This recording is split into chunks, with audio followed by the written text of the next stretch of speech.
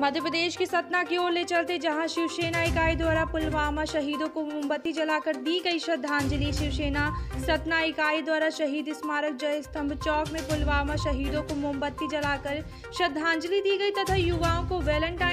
परित्याग करने के लिए प्रेरणा दिया गया इस अवसर पर जिला प्रमुख ने कहा कि हम नहीं कहते कि प्यार दिवस ना मनाइए मगर यह प्यार दिवस मात्र पितृ दिवस हो जाए तो कुछ इस प्रकार मनाया जाए प्रयाग एक्सप्रेस न्यूज के लिए मध्य प्रदेश रीवा से ब्यूरो चीफ ब्रिज कुमार की खास रिपोर्ट